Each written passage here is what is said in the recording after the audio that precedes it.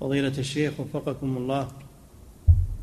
يقول امرأة ولدت بعد صلاة المغرب وحصل معها النفاس وقبل أن يدخل عليها وقت العشاء. السؤال هل تقضي عشاء ذلك اليوم؟ لا ما أدركته. ما تقضي العشاء لأن ما أدركته. قد يقال أنها تقضي المغرب لأنه دخل وقتها قبل الولادة تقضيها وأما الثانية لا. ما أدركتها؟ إعداد مشروع كبار العلماء بالكويت أعزها الله بالتوحيد والسنة.